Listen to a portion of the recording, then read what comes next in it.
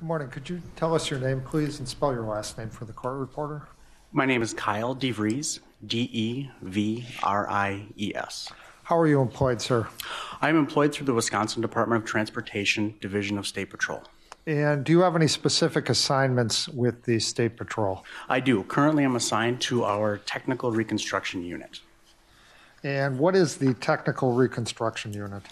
Um, it is a group of individuals um, with specialized skills and advanced training um, that um, work with crash reconstruction and crime scene documentation. All right. And how long have you been assigned to that unit? Uh, about three and a half years.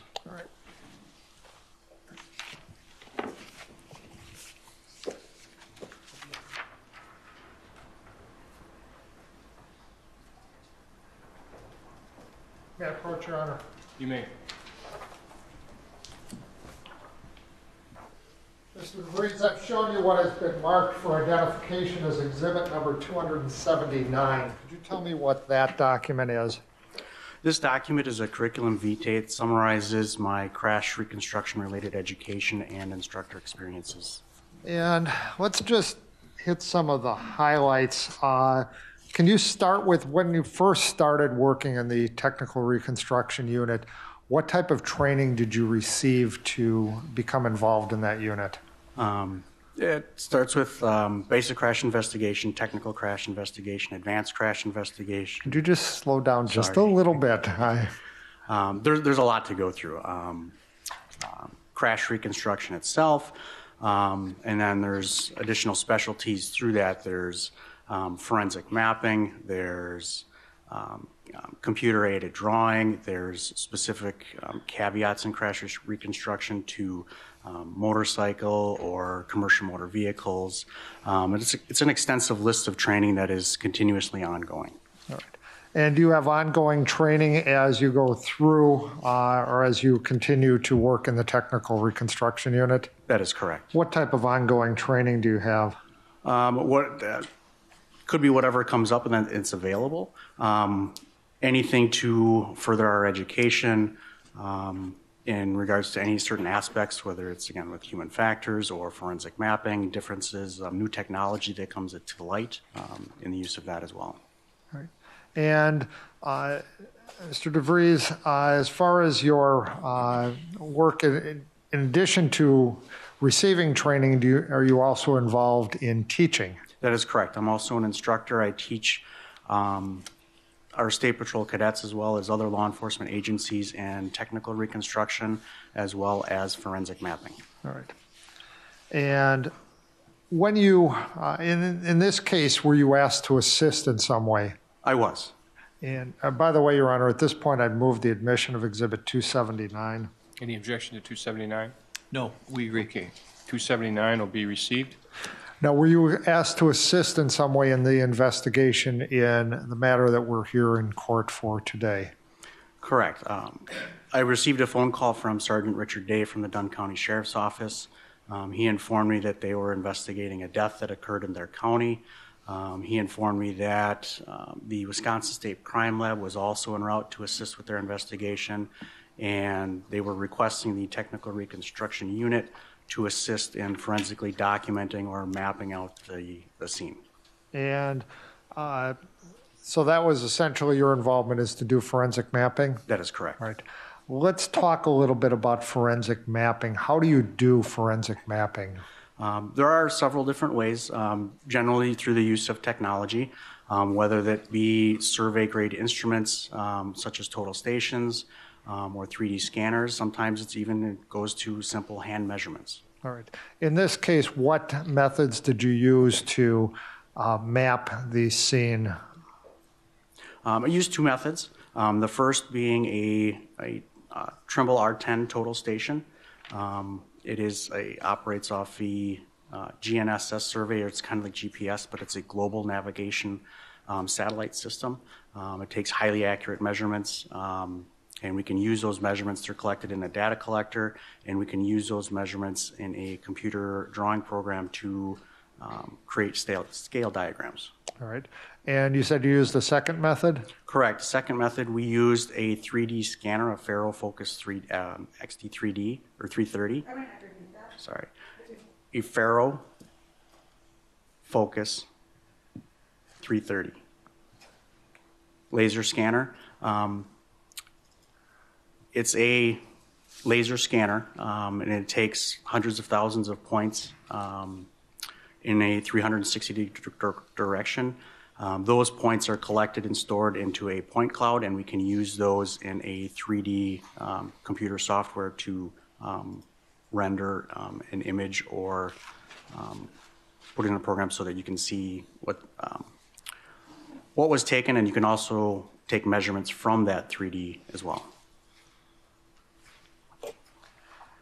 And do these then render you uh, accurate uh, images of your scene and what is at the scene? Correct. The scanner, while while it's taking measurements, it takes a, a second round. It also takes um, photographs and overlays them with the measurements.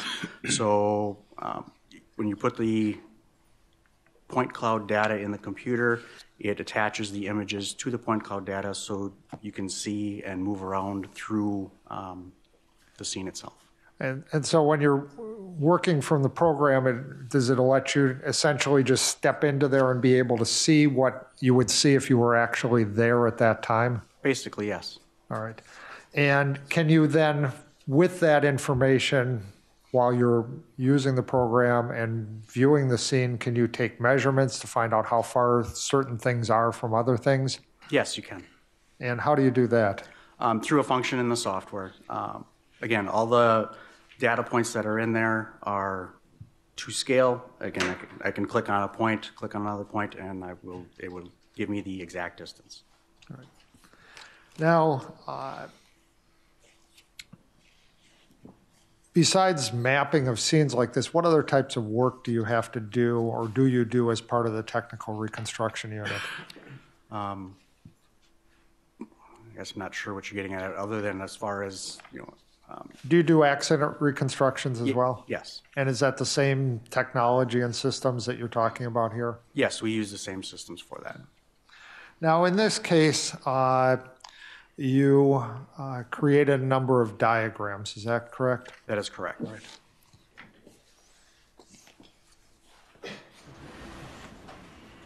Just going to stay up here for a moment, uh, showing you what has been marked for identification as exhibit number 282.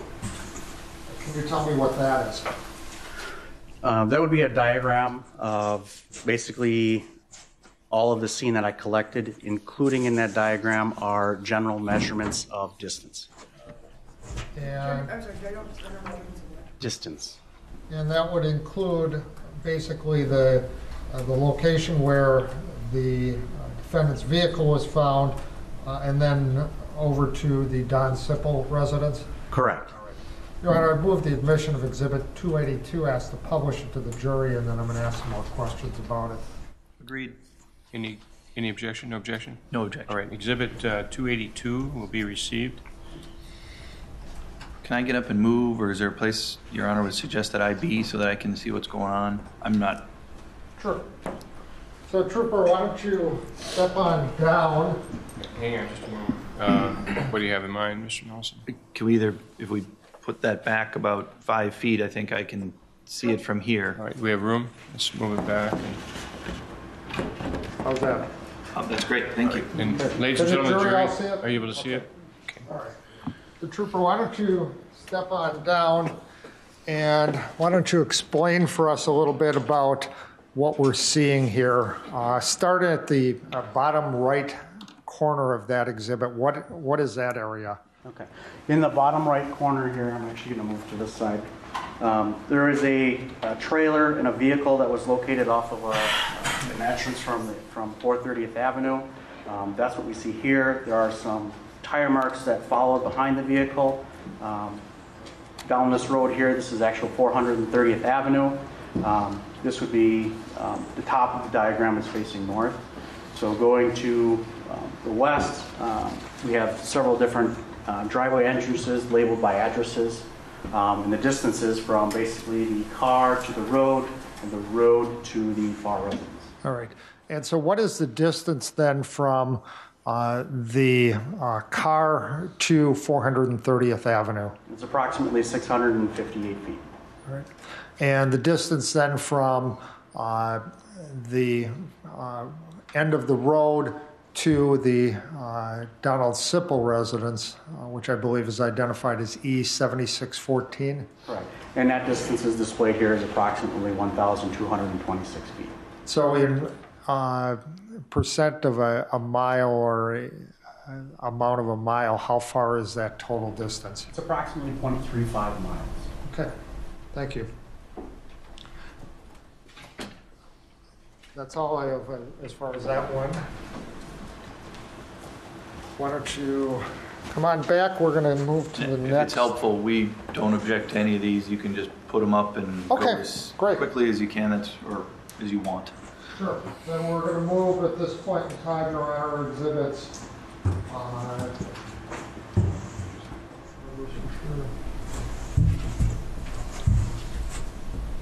283 through 285. No objection. All right, are those pre-marked or? Yes, they are, Your Honor. Okay. Exhibits uh, 283, 284, and 285 will be received.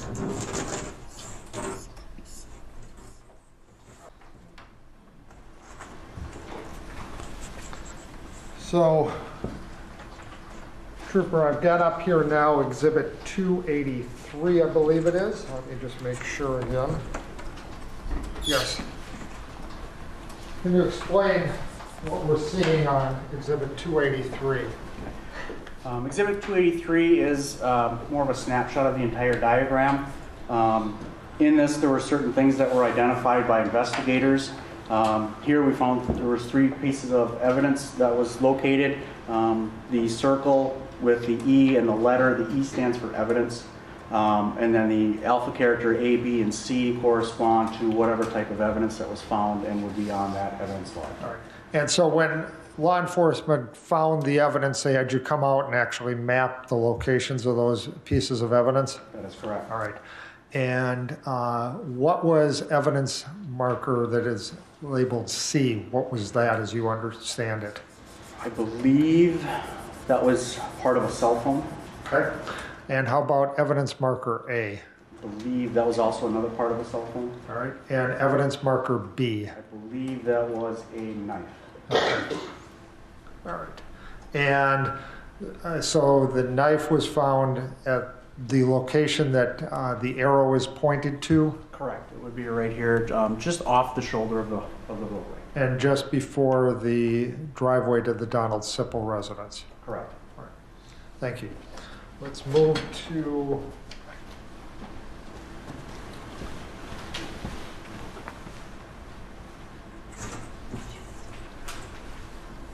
Exhibit 284. What are we looking at on Exhibit 284? Um, Exhibit 284, again, is a uh, blown-up area of the entire um, scene that you had seen before. However, this we're focusing on the roadway that came south from 430th Avenue. In this particular um, diagram, a footpath was noted um, in the roadway itself. Um, So that's where it was highlighted here. And again, two additional um, evidence markers was located by investigators. Um, The difference here with these ones being numerical numbers is that they were found by a different agency. All right, those were found by the crime lab? Correct. All right, and the other ones, the letter ones were found by Dunn County Sheriff's officers? That is correct. All right. And as you understand it, evidence markers one and two were what? I believe they were foot cast impressions. Finally, uh, Exhibit 285.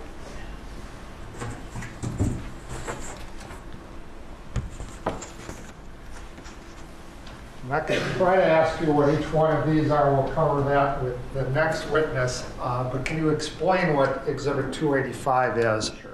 Um, Exhibit 285 is a, basically a blown-up version of where the vehicle and a trailer was located. Um, Again, this would be south of the 430th Avenue. Um, The Wisconsin State Crime Lab had identified uh, numerous items of evidence. Um, Each evidence that's uh, labeled here corresponds with their evidence log. All right, and so they- have either tent markers uh, or uh, stick-on labels marking what those evidence items are? Correct. And then you mapped out exactly where those were and created then this scale diagram? That is correct. All right, thank you. Let's move on then uh, to the other portion of your work, the 3D scanner portion. Uh,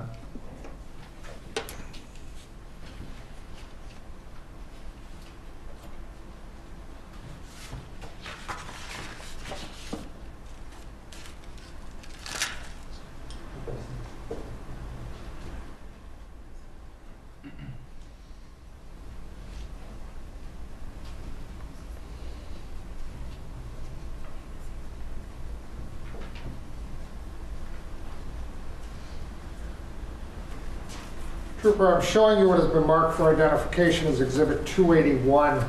Can you tell me what that is? Um, It looks like a CD or DVD of the uh, Wisconsin State Patrol's scene recon, as it's what it's labeled here. All right. And that contains the work of your 3D scanner? Okay, yes. All right. I move the admission of Exhibit 281 at this point, Your Honor. Any objection to 281? No, we agree. Right. Exhibit 281 will be received. All right, then Trooper, what I'd like you to do, uh, you've got your computer hooked up over here. Uh, Can you step to that? And I'd then like you to uh, bring up that program so that we can see what it looks like, and then I want to talk to you about some of the- the items in there.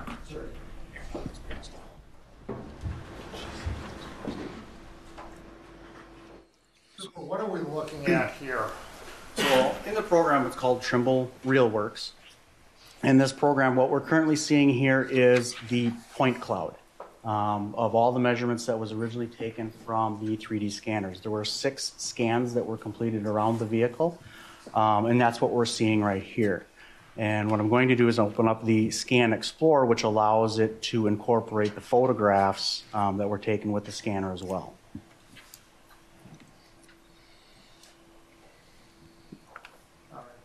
So I, I see a, a yellow triangle there. Can you explain what that yellow triangle means? The yellow triangle are the setups where the scanner was located. Um, so it helps in here, I, um, as we can see down in the lower right-hand corner, you can see where each triangle was set up. That's where the scanner locations um, were around the vehicle. So there are multiple scanners there? Nope, just one scanner, just moved around in six different times. Okay.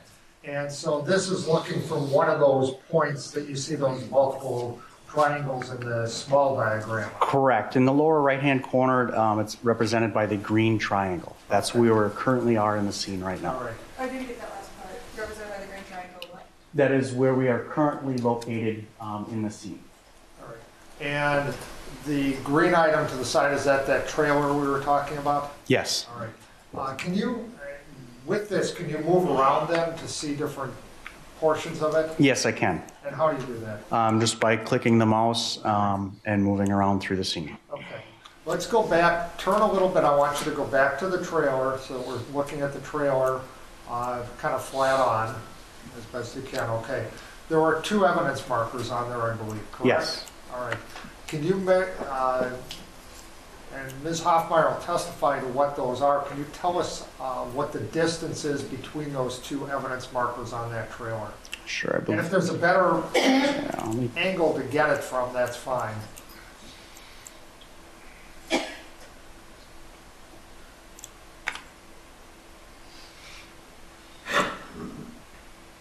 So because I can't see where the actual evidence is, I can see where the stickers are. The measurements will be between uh, from the center of the sticker to the center of the next sticker. And I apologize, what are those sticker numbers? Am I jumping ahead? Looks like 13 and 15. Uh, It's 14. They're 13 and 14, counsel. 13 and 14. Thank you. That distance is approximately how far? Uh, uh, just over six feet of uh, away from each other. All right, great. Now, can you, from this angle, can you also then, uh, does this also show the vehicle itself? Yes, it does. All right, can you scroll around to the vehicle or turn around to the vehicle? All right. And so it also shows then the various other evidence markers that are located out there? Correct. Now, uh, are you able to, as part of this, uh, can we see uh, the tracks of the vehicle and what happened with the vehicle as far as it getting stuck? Um, Sure, there's some some several different things that we can do here to see, kind of near the center, a little bit on the bottom, you can see some um, disturbed um, ground. Um, I can zoom in a little bit, which appears to be um, some type of tire mark um, from this angle. Um, Trying to see if I can see it from a different angle. So we kind of got washed out a little bit from our backlight that we had at the scene. There was virtually no light out there, so we had to bring in supplemental lighting. Okay. Is there a way that you can get it to see it a little bit more clearly? Yes, we can turn off the pictures, uh, basically, and move it into a grayscale intensity so we can see I, I that. need to still have a touch on your sorry. Turn off the um, color into a grayscale. And so now, when we're, when you have the color off, are you just looking at the, what the laser scanner did itself versus with the pictures that it takes? It, it, it's a kind of a combination of both, but um, you're seeing more of the laser scanner than you are of the picture. Okay. All right, and so what does it tell you, and what does it show you as far as the tire marks at that point? From what I can see, it looks like at, at some point the vehicle um, came to a stop and it looks like it appeared it may have backed up. Okay. And uh, Trooper, if you can try to speak a little bit more, and maybe even move that microphone a little closer. I'll try to make sure I speak up loud enough, and, and then if you can just use the microphone. Uh, And by the way, when, when were you at the scene uh, on this? I believe I arrived at the scene. Um, it was shortly before 10 p.m. Um, and we worked there for a couple hours um, while the crime lab was processing the scene. Um, I had to wait for them to identify their evidence, um, and then we uh, took our scans. So we're there well into the night. All right, and was that 10 PM on March 23rd? That is correct. Okay, all right. Uh, Let's move to the area, can you get us to the area where uh, most of the evidence markers were between the vehicle and the uh, trailer?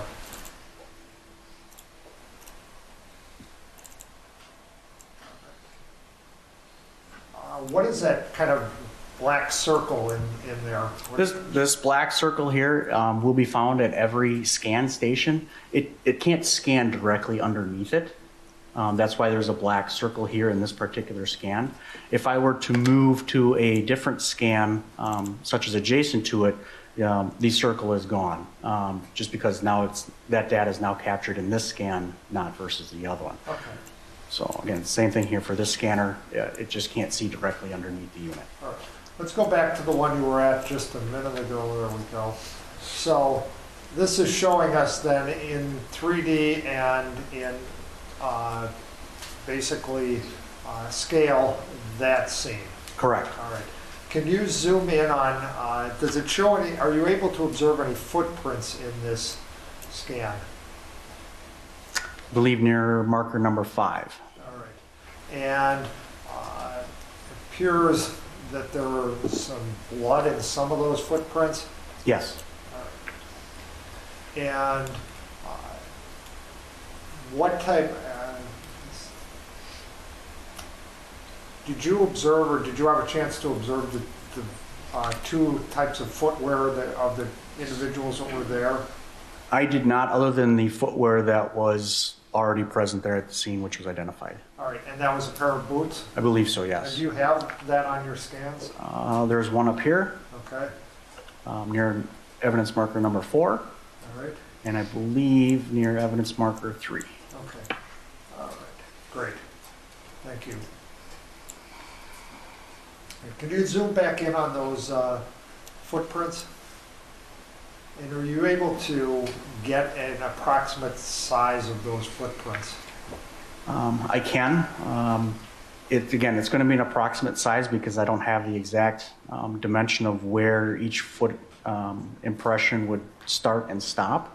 Okay.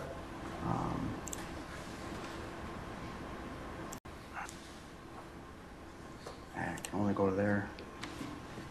Okay. All right, and again, you can't tell if they, those are complete, if they start and stop or anything? Correct. All right, great, thank you. Uh, All right, there also appears to be some other items there. Can you get us in on those a little bit closer? Any specific number? The, or- uh, Yeah, uh, numbers, the, it appears there's kind of a gold or tan th- sweater there or something on top of here? there, yeah, Okay. all right. Great.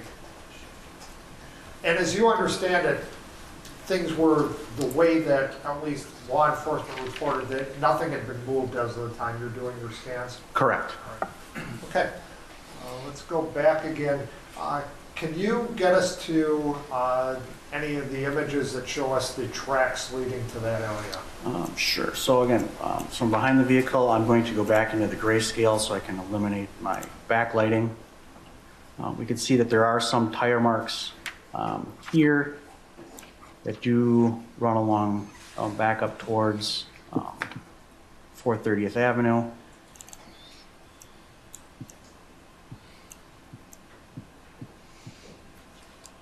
Let's see where the, there we go. And here we can see some tire marks leading up to the vehicle. And the tire marks there appear to be off of what is actually the road onto the grassy or area? That is correct. And is that how they were, how you observed them at that location? Yes. Uh, Can we go back to, let's go to the uh, uh, other side of the vehicle. Uh, If we go back into color for now. Can you just zoom in a little bit more on the vehicle itself? All right. Thank you. Just to give the jury that perspective. So that would be uh, what the, from the other side of the vehicle, which, Correct. You're looking at the passenger side of the vehicle. and now let's go back to the grayscale and let, let's take a look at the. Uh, what is it, what are you seeing as far as the condition and and the situation with the front tire there? Um, The front tire looks angled slightly to the left. Um, It appears to be not quite sunken down, but um, in a, there, there's some mud that's kind of squished up against the tire. Does it appear that there's uh, mud spatter on the vehicle itself? Um, Yes, it appears, you can see on the, uh, along the passenger door here that there is um, some spatter. All right, can we go to the front of the vehicle now? And stay in the grayscale. Uh, Just zoom in uh, there a little bit. Uh, Do you observe, and did you observe any actual footprints in the front of the vehicle? I did not. All right. Uh, Did you look for them? Um, I don't specifically remember looking for them. Um, At the time that I was there, um, the temperatures were dropping, um, the ground was getting harder. Okay. Uh, How was the ground when you first got there? Um, It was, it was still kind of semi-hard. Um, This area here, the grassy area, um, was definitely much harder than the actual um, driveway or road itself. Okay, all right. Uh, But we did have footprints on the side of the vehicle. Correct. All right. Did you observe any footprints in the back of the vehicle? And can we go to the back and take Yep, a I'll look? go back. I don't believe there was. Okay.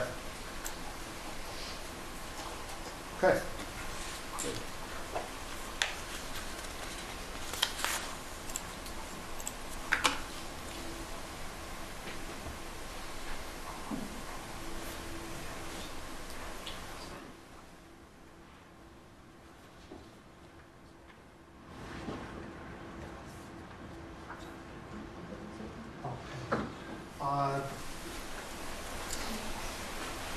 Look on the side of the vehicle here, the driver's side.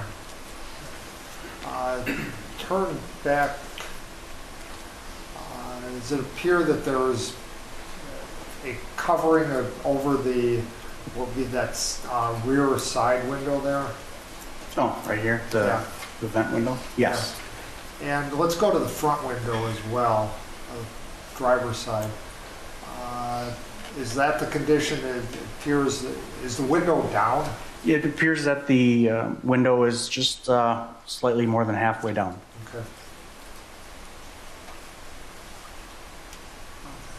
Uh, Let's go down, I want you to come down to the body there, let's take a look. Uh, Can you just zoom in on the scarf there? Thank you. And that would have been the condition of that scarf at the time that you arrived on that scene? Correct. All right. And finally, can we go to the other side of the vehicle?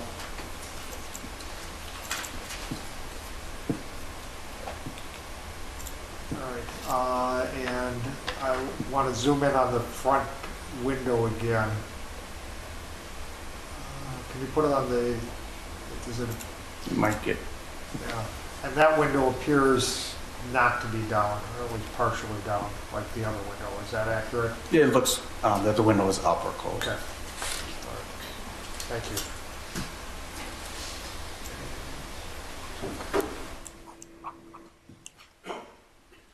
Right, I do not have any other questions for uh, Trooper DeVries, Your Honor. All right. Uh, Mr. Nelson? Yeah. Yes, please.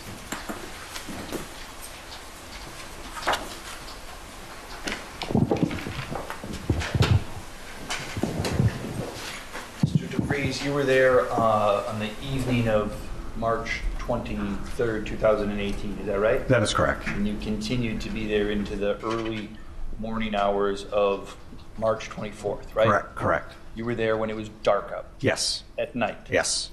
Um, you didn't go back when the sun was up to that scene to do these scans. No, that is correct. Um, and the reason is you just go out there as soon as they call you, right? Generally, yes. Okay. Um, the choice to whether to wait until there's daylight isn't necessarily your choice. It's the lead investigating agency's choice. Is that right? Correct. We initially um, scanned the vehicle at night when it was there. Um, After we completed our scanning and all of the evidence was collected, um, the vehicle, to my knowledge, was removed from the scene. And you weren't there when the vehicle was removed. That's correct. You don't know how it was removed. Correct. You don't know if it was able to be moved without a tow truck. That is correct. The, I just want to go through some of these uh, diagrams with you briefly. Sure.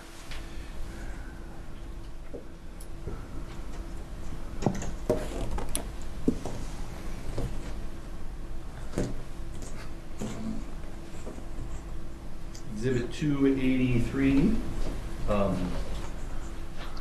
which is, you guys know that one? Yep. Uh, That you were asked questions about this, is that right? Ask questions You from, were asked questions by uh, the prosecutor? yes, that is correct. Uh, And one of the questions was the driveways, correct? Yes, I'm correct in, this is not Mr. Sipple's driveway, agreed? That is not Mr. Sipple's driveway. Correct. Mr. Sipple's driveway Ah, is is- farther down the road, correct? Correct. Mr. Sipple's driveway is...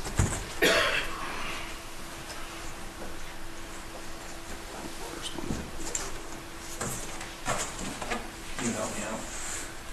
282. In Exhibit 282, you're able to see Mr. Sipple's driveway farther down the roadway, is that right? That is correct. So the footprints mentioned here by uh, 283 uh, are by a different driveway, correct? That is correct. Okay. And then on 285, the driveways as they're shown um, between Mr. Sipple, which is at E E7614, and his daughter's house at E E7616, it doesn't show them connecting on your map, agreed? Correct. But in reality, they do connect, is that right?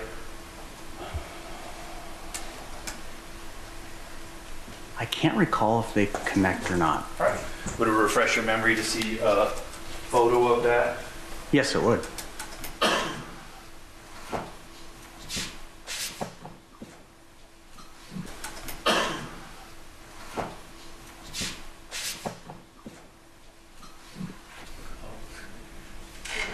Um, I'm going to show you, uh, you have to mark it, I guess, but Well, if you're refreshing his recollection, probably have to have it marked. I'm going to show you uh, photo number 182 from disc VV. See if that, uh, you recognize that photo. Do you recognize that photo?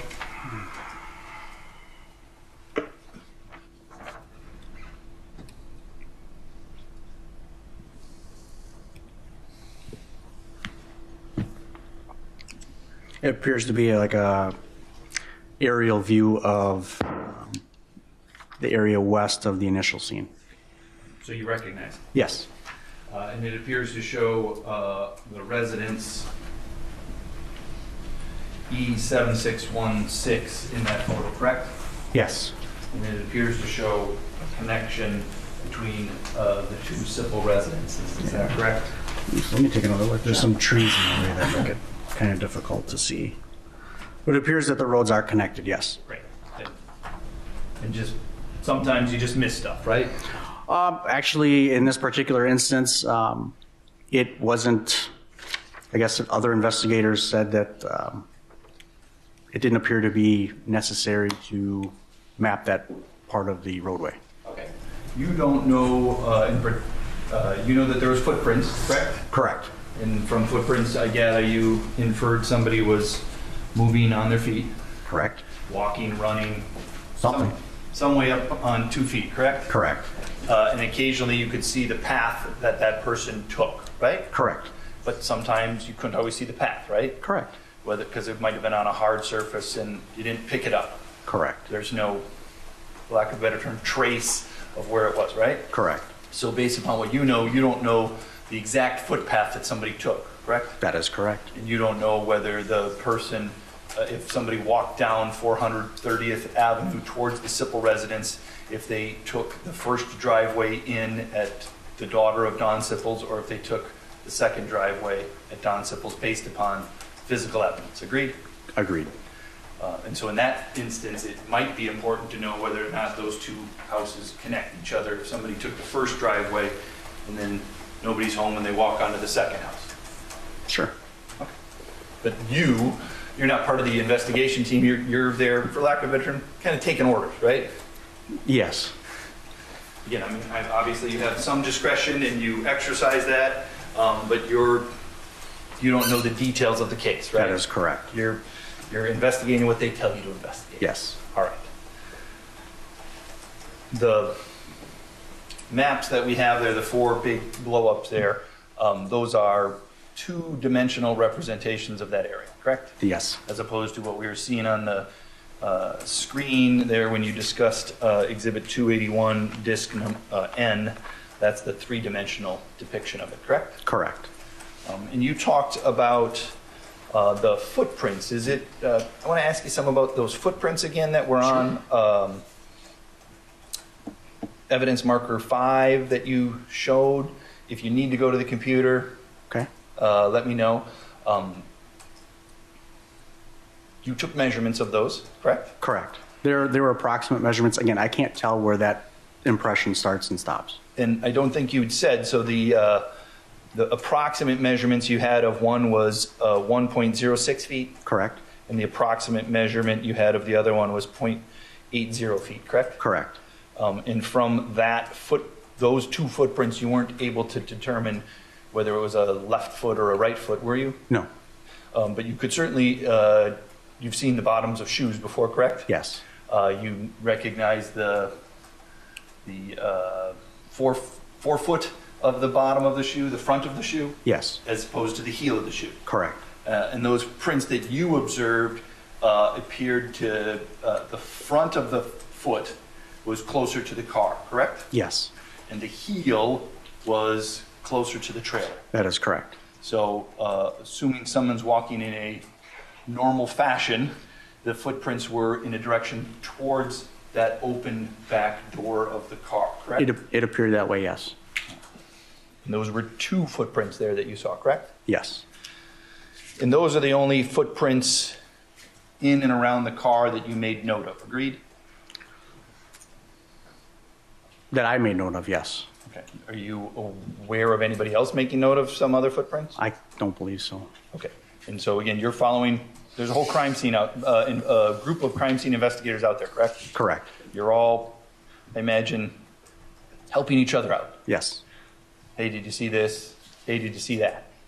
And s- kind of that's how it went. Um, Yeah. Generally, um, when investigators are identifying their evidence, I let them do what they need to do.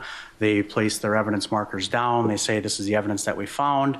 Um, Could you please go ahead, go through and document it? But you, as a trained and experienced law enforcement officer, if you saw something that caught your eye and you saw that there wasn't a marker, you'd certainly point that out to the other professionals that are there. Absolutely. And uh, so again, in that sense, it's a team approach very much, right? Yes. Want to make sure at that point you're documenting anything and everything.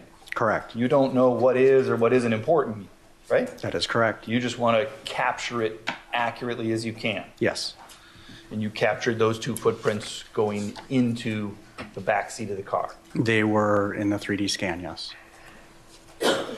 You, there was uh, some discussion about some blood being on the ground there, right? Yes? Um, obviously, you don't know, uh, based upon your scene evidence evaluation, you don't know when that blood got there on the ground. That is correct.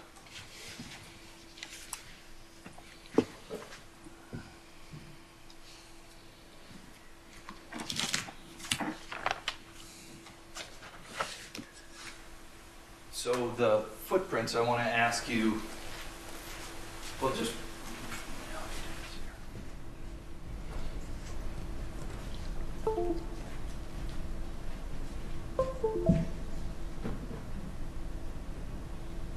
Before I get to the footprints, I want to talk to you about Exhibit 280 and the uh, path of the tracks. Is that all right? Okay. You, uh, how do you want me to set this up here? Officer, if, um, where- wherever you're comfortable, I, is it okay if you stand and I ask you questions while you stand? Absolutely. All right. That- Can you see that? I can see it fine. Jersey. All right. Um, So I want to ask you questions about this portion of it over here. Um, First off, I guess on the, what do we call this? The right or the left side orientation-wise? Which way do we look at it? I would say, it's, um, the north arrows at the top, I would say it would be towards the east of the diagram. Okay, so on the east side of the diagram, there's this brown uh, line, correct? Correct. And that documents the muddy road slash driveway, whatever we want to call it, right? Yes. You call it a roadway? Road access point, um, I don't believe there was an address associated with it. It was just some type of access from off the road. Okay, so can we agree, call it the muddy road? Sure. All right. So this brown mark here on the east side marks the muddy road, right? Yes. And as you're going, north is top, Yes. south is bottom. Correct. So if a vehicle was traveling from the north to the south, um, there is a incline that goes to about where the uh, 658 mark is. Is that right? That is correct. And then after you get to the top of that incline, as you go further south, you're going down the other side of the incline. Is that right? Uh, It's pretty much level off to the top of that. We can actually see that in the 3D diagram. Okay, but the, would this be the uh, north, the north half of the muddy road, we would agree, is an incline from north to south? That is correct. And the uh, bottom portion of that uh, then is either flat or a slight decline? Yes. All right. Um, And I think I know, but I want to ask you, it's not a trick question, where's the sun in the day during this time? What would get sun exposure and what wouldn't get sun exposure? Um, Well, being in March, obviously, sun's, you know, the way the sun goes, um, the, obviously, the sun, the northern half of the road would get less sun as it's facing away. Sun would be more towards the south, obviously, in the wintertime. Uh, So that the top portion of the southern portion of the road would receive more sun. The, the portion below 658 would receive more sun in your opinion, right? In my opinion, yes. And obviously, when you were there, it's late March in Wisconsin, right? Yes. The weather changes daily, if not hourly there, correct? Correct. You can have a, a big warm up and things start to thaw out, right? Yes. And you can have a freeze and all of a sudden all the surfaces get hard again, correct? Correct. So it very much depends upon the day, Yes. especially in late March. Is that a yes? Yes. Um, So you would agree that initially, this portion of the road, uh, the north side of the road, would more than likely be a harder surface than the south side because it had less exposure to the sun. Agreed? Generally.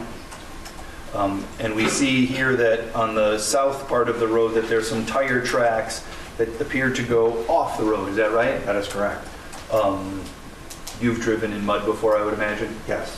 When you've driven in mud, you try to find the hardest surface, right? Yes. Um, So it would make sense to you that if someone's stuck in the mud, they might try to go to a harder surface like the grass, agreed? It's possible, yes. And you had testified before, I believe, that uh, the area around the car, the grass was a much harder surface than the mud. Correct. Right. so that's, con- would be consistent with uh, your observations of the scene, right? Yes. Um, Did you note uh, this portion here where the, where there's tracks leading from the mud road onto the grass? Are there any photos or observations that you made of that muddy portion of it? Um, I didn't take any photographs. I did note that the area was um, quite muddy and quite disturbed. Um, It was difficult to determine um, if any tire marks had come off of the, as we're calling it, the muddy road. Um, Where I was able to definitively sh- um, see where the tire marks were is when it became off of the muddy road. Great. Um, So you could deduce that the vehicle in question was probably on the muddy road and then eventually left the muddy road where the tracks come off onto the grass. Is that right? That That would be your conclusion? Yes. Um, And it appears as if when it initially got off the grass, there was again some maneuvering to try to make sure it continued in a forward motion. Yes. Uh, And then it managed to do so for some time. Yes. And then it got into a softer surface. Yes. That would be your observations? Okay. And when your observations of the vehicle at its resting point is, it appeared stuck in the mud? That is correct. Okay, thank you. Ask, Do you know anything about the timing of when the vehicle was there and when people were at other places? No. All right. Would you agree that the portion of the roadway that is exposed, uh, the northern portion of the muddy roadway, would be softer in the afternoon when the sun is shining on it than it would have been earlier in the day? That would make sense, yes. Okay. Um, And what we see is a footpath here on Exhibit 283 on the northern portion of that muddy road, is that right? Correct. And then it appears to, at least using your deduction skills, come from the grassy area, then onto the footpath, is that, or onto the muddy road, correct? Yes. And then at some point, that footpath ends in the middle of the muddy road? It's just, I wasn't able to discern any more um, areas where footprints could be observed. Okay, and was that due to the hard surface of the area or just so much uh, water and mud and Could have been a- disturbance? A combination of both. There was water um, at the end of the driveway itself near 430th Avenue. Okay, and so for whatever reason, you just could not, you could no longer determine whether those were footprints or not, right? Correct. The footprints that are marked here on the footpath, those appeared to be from stocking feet or bare feet? I could not tell that. I just, it was a path of footprints. And on what we know from Exhibit 284 is those, there was some foot, there were some casings done at E1 and E2, is that right? To my knowledge. Is that what you called them? Yes, foot cast impressions. Foot cast impressions, thank you. Okay. And so we'd have to look at those foot cast impressions to determine whether or not it was a shoe-worn footprint or a non-shoe wearing footprint, right? Correct, and that is outside of my expertise. Okay.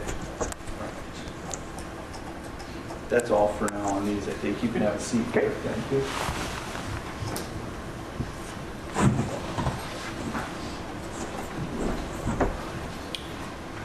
So you testified about the lack of, I want to ask questions now about around the,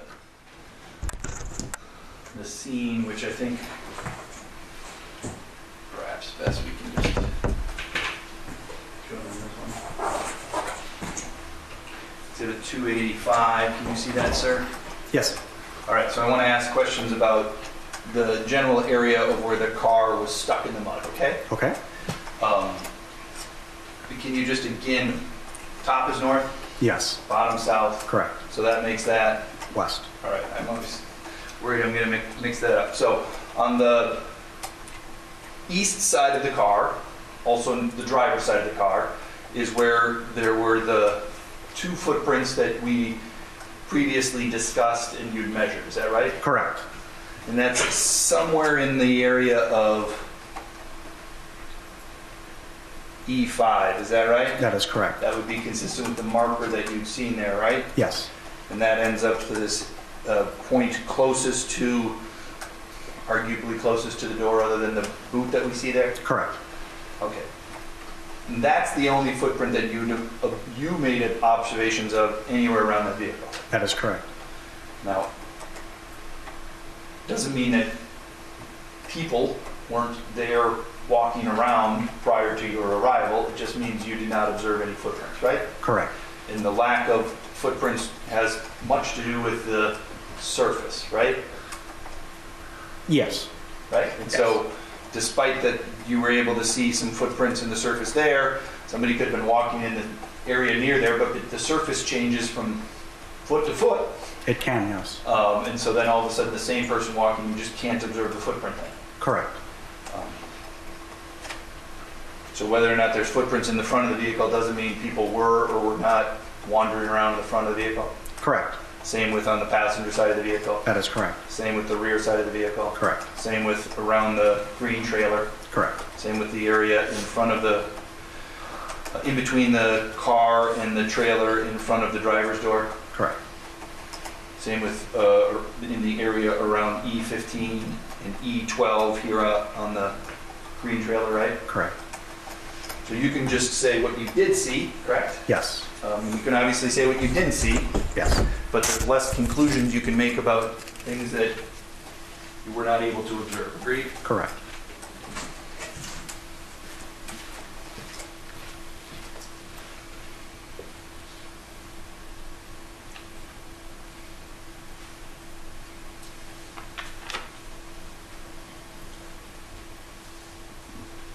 Those are the only questions I have. Thank you.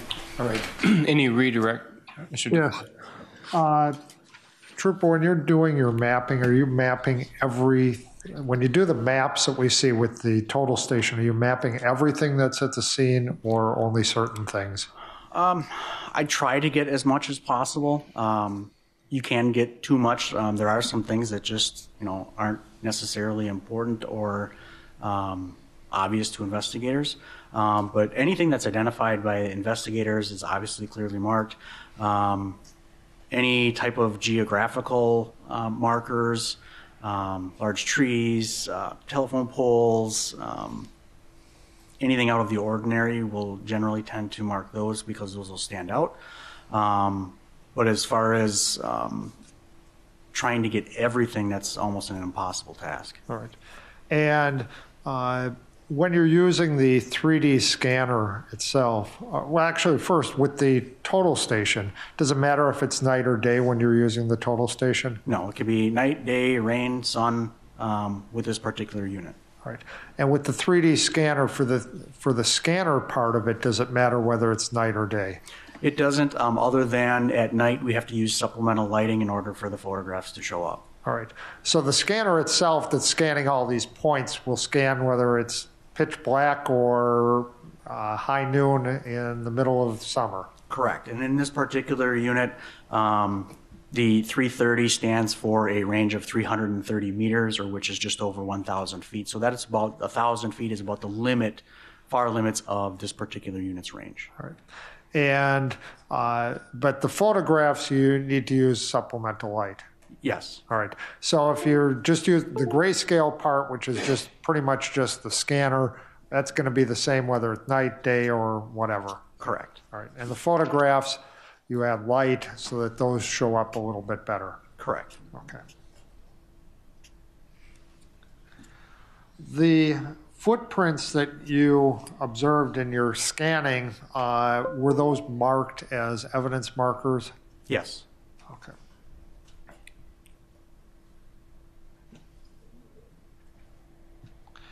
The scanner itself, will it show uh, everything, uh, whether it's marked as an evidence marker or not?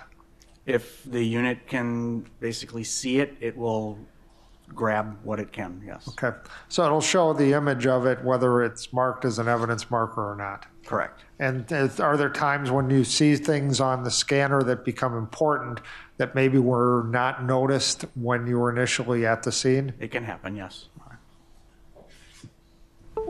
I don't have any other uh, redirect, thank you. Can you recross? Yes, can I, can we approach Yes. ask you the first round some questions about the gold article of clothing on the ground near the doorway. Okay, uh, doorway of the vehicle? Yes. Okay. Um, maybe the best, could, could you come down and pull that up, just so we, we all know what we're talking about? And You're going to be uh, pulling it up on exhibit number 281, CDN.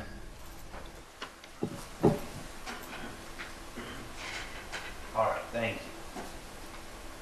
Um, And you can actually go, I think it's probably easier for all of us to hear you up there. I'm not going to ask you to manipulate it anymore. Okay.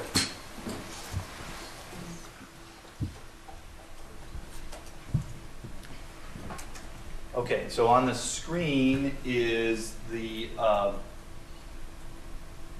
ground on the driver's side of the vehicle, is that right?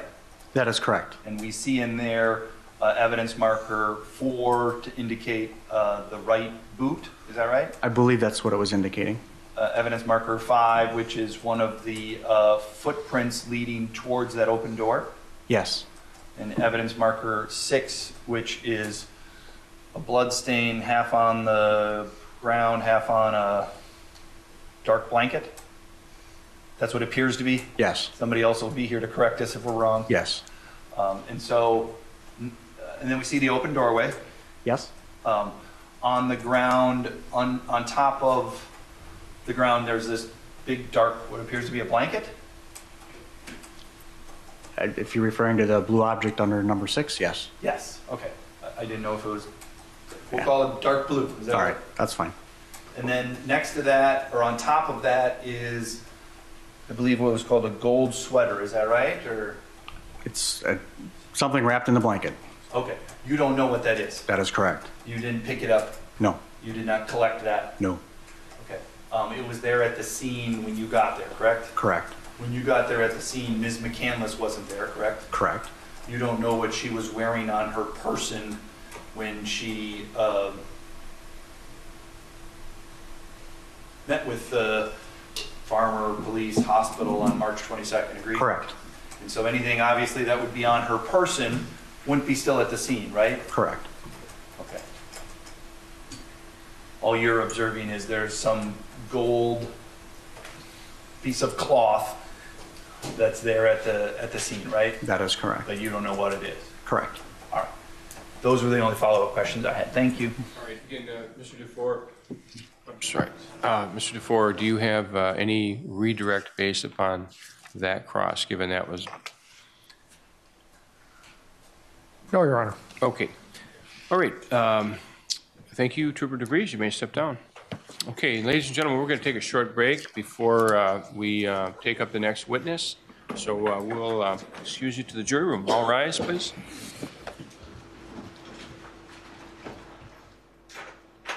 Okay. um, Mr. Nelson, you indicated that you had some matters you wanted to take up regarding uh, Ms. Hoffmeyer before she's called as a witness?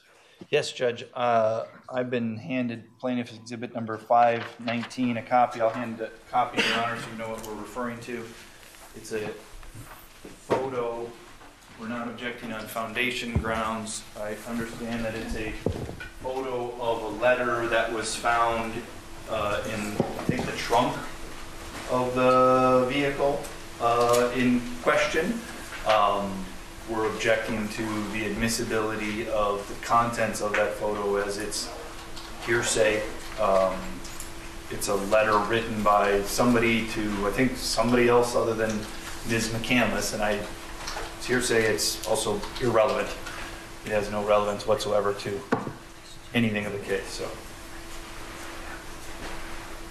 All right, well, before uh, we go any further, does the, uh, what is the state's position with respect to Exhibit 519?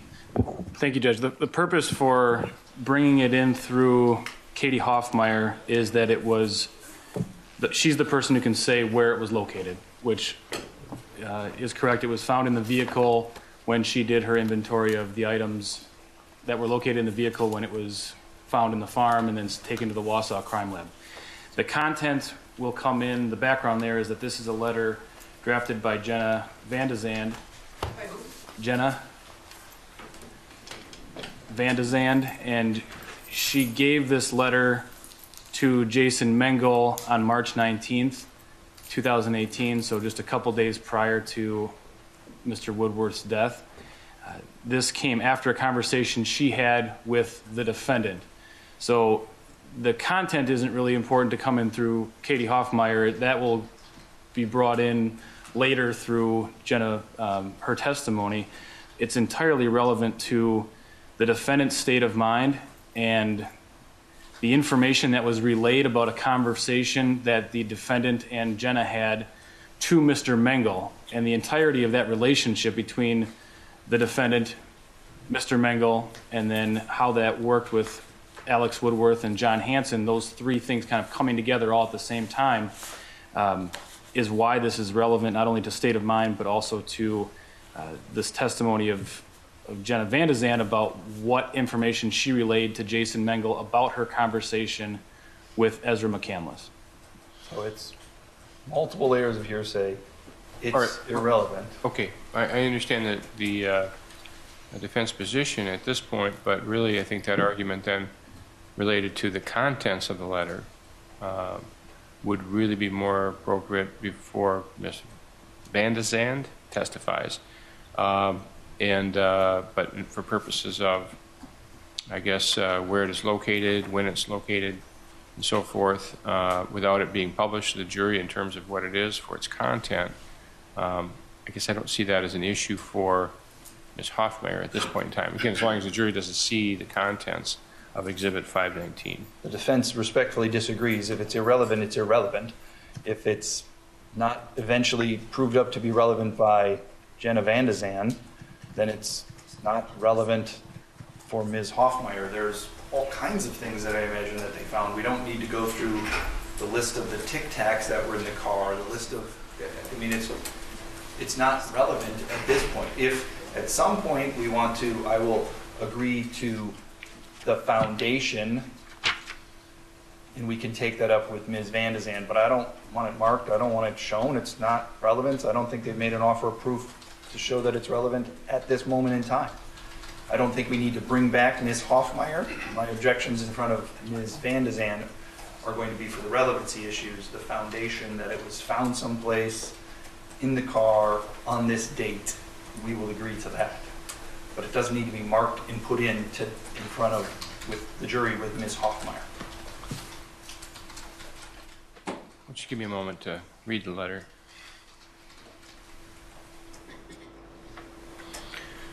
Judge, briefly?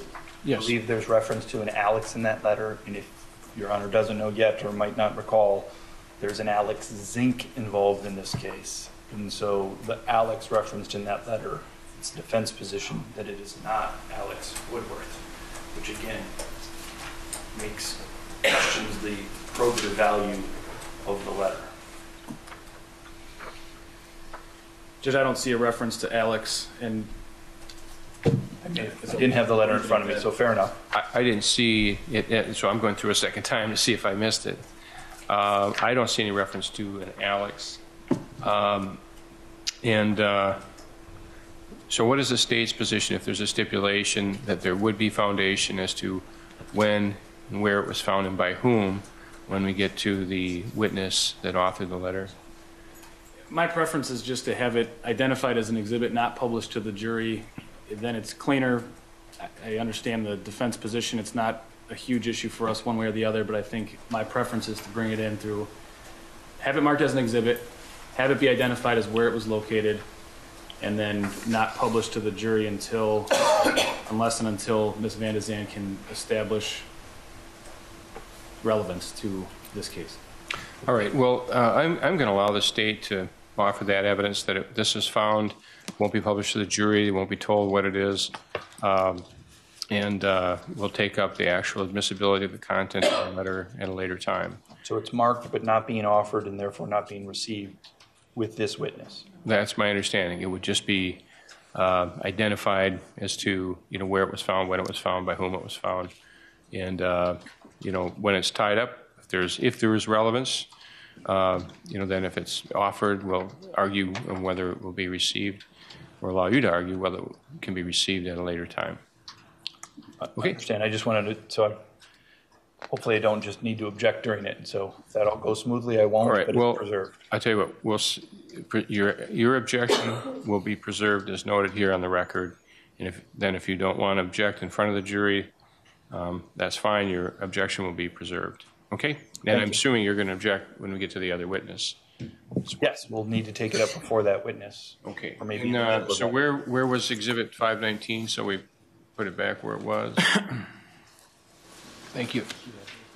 And I just wanted to just make a note about our sidebar at 9:38. Essentially, Mr. Nelson was asking whether the state would object to him going beyond the scope of redirect in, uh, in a recross.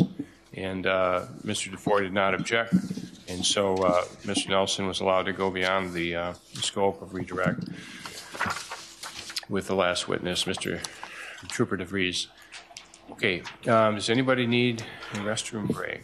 Uh, Ms. McCandless? So why don't we take care of that right now before we bring the jury back in? Be about Doesn't we just five need a few minutes? minutes